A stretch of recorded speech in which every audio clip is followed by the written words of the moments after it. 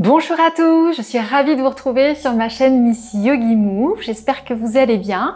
Aujourd'hui, on va apprendre la respiration alternée Nadi Shodhana, hein, qui est un pranayama.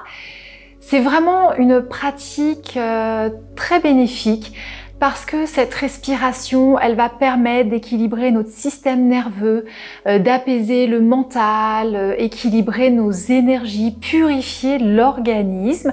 Et c'est un pranayama euh, finalement assez simple, mais comme on va le voir, on va y aller en plusieurs étapes. Ça va aussi libérer le passage de l'air au niveau nasal et parfois si on a une petite tendance à avoir un encombrement nasal, des tendances aux sinusites, eh bien ça peut vraiment beaucoup aider. Moi en tout cas, c'est mon cas.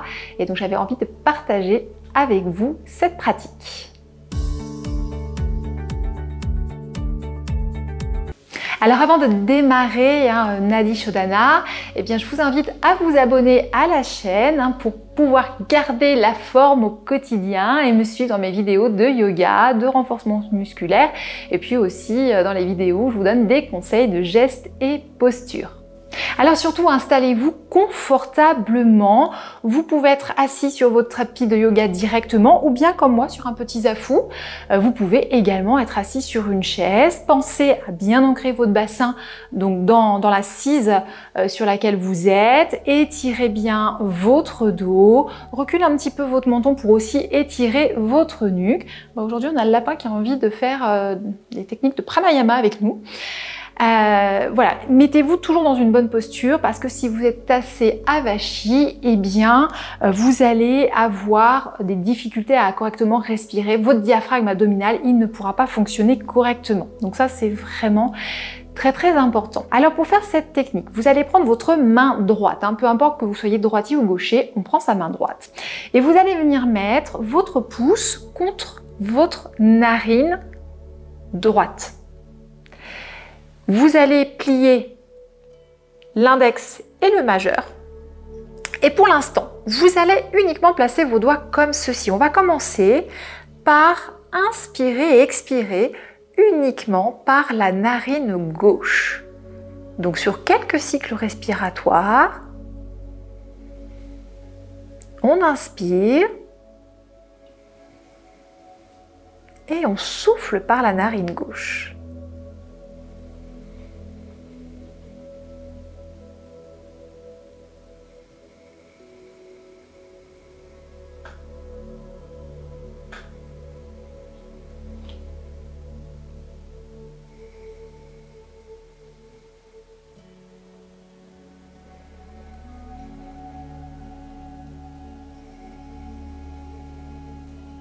On va maintenant relâcher la pression sur la narine droite et vous allez venir mettre euh, l'annulaire contre la narine gauche.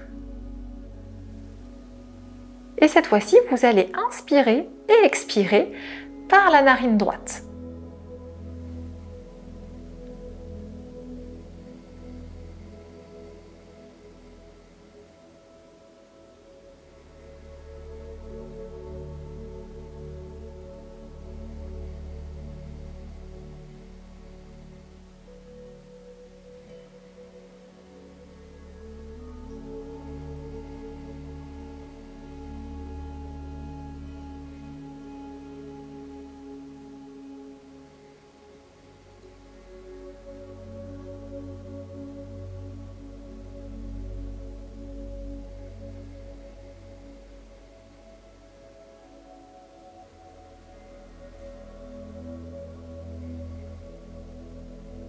On va relâcher.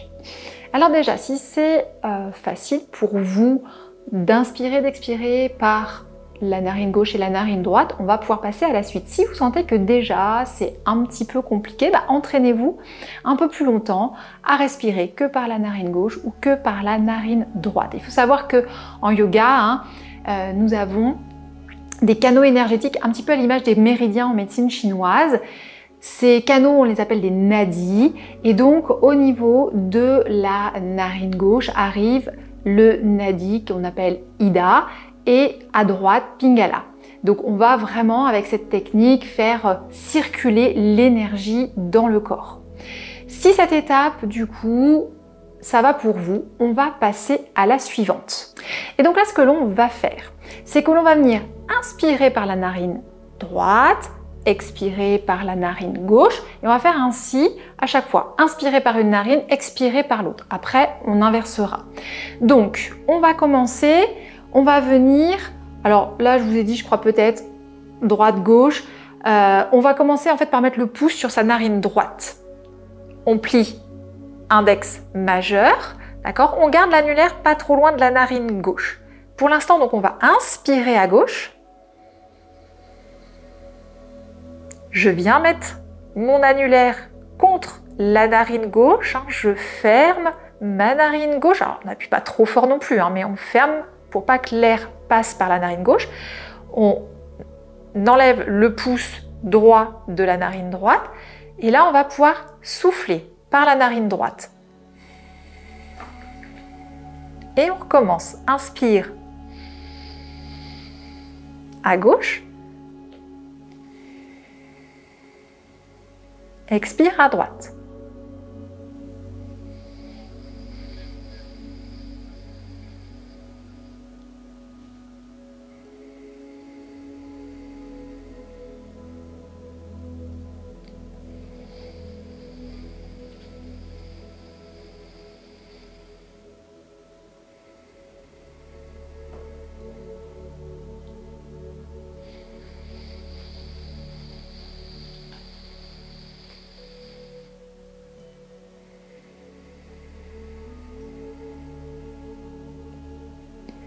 Et on relâche la pression.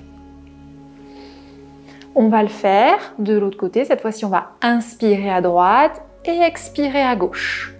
Donc, je viens mettre mon annulaire contre euh, ma narine gauche. Je laisse mon pouce un petit peu à l'écart pour pouvoir inspirer par la narine droite. Le pouce vient contre la narine et je souffle à gauche. Je referme à gauche. J'inspire à droite.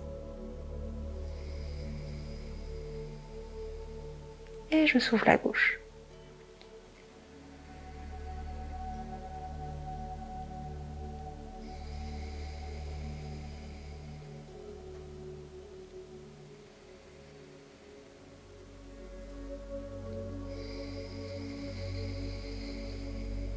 Encore une fois.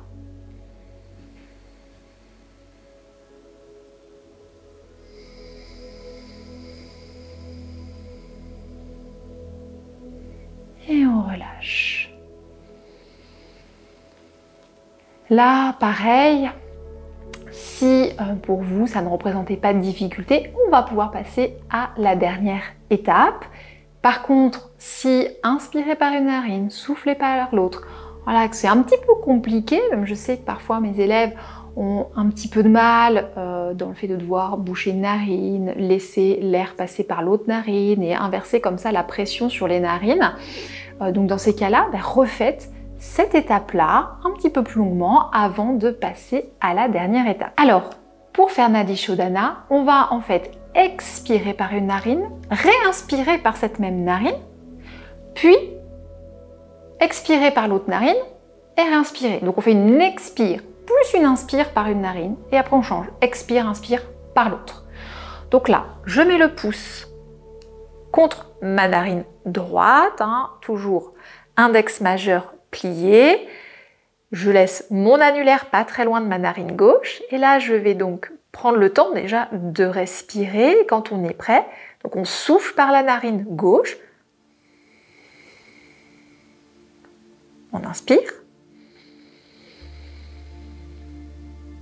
Je place annulaire contre ma narine gauche, je libère la narine droite et là, je souffle par la narine droite.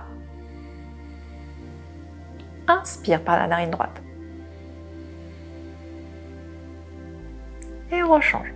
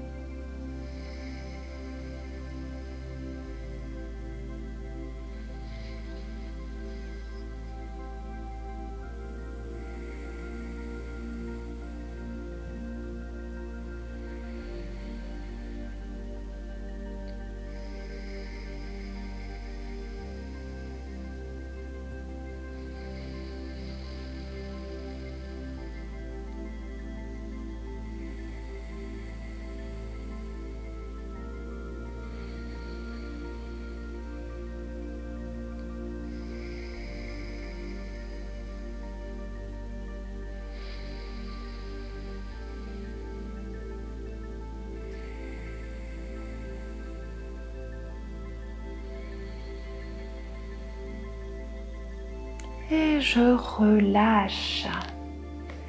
Alors moi j'aime beaucoup pratiquer euh, ce pranayama, donc quelques, instants, sur quelques respirations, une minute ou deux en général.